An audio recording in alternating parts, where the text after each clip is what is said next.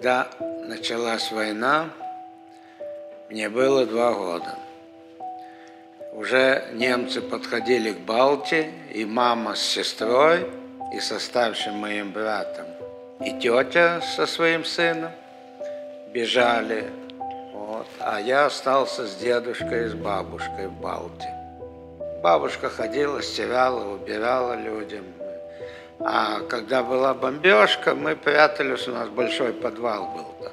Просыпался, мне казалось, что я в какую-то пропасть лечу, камни, валуны, и я страшные истерики закатывал. Сейчас мне 82 года, и меня это тоже моет. Ну, я, правда, так проснулся, понимаю, где я нахожусь, и успокаиваюсь. Ну, могу ночью подраться. После бомбежки дед вышел собирать стекла. Немцы гнали какую-то колонну там, деда взяли, больше с тех пор мы его не видели и не знаем, где он захоронен даже. В 1944 году освободили Балту, и мама вернулась с братом, и мы переехали потом в город Тирасполь, Молдавская ССР. Папа воевал с 1939 года. Он был э, замполит, капитан, по-моему, по званию был. В 1941 году он попал в плен. Там он э, бежал, потому что могли свои выдать тут же его. А что он? Коммунист, замполит и еврей. Его тут же расстреляли бы.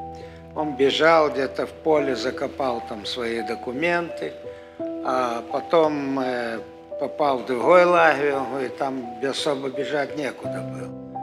Ну и папа после войны, когда вернулся, если говорят, что если ты сумасшедший, есть пословица, бейся головой об стенку. Так я лично видел, что мой папа бился головой об стенку. Настолько у него психика была расшатанная. Ну, все, хватит, все.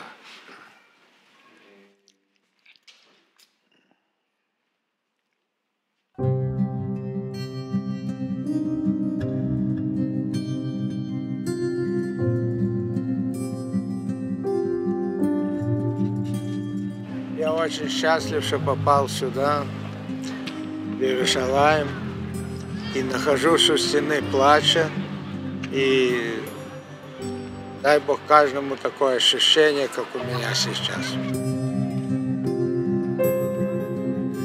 А когда я уже был у стены плача, туда, когда подходишь, так вообще как э, дыхание замирает.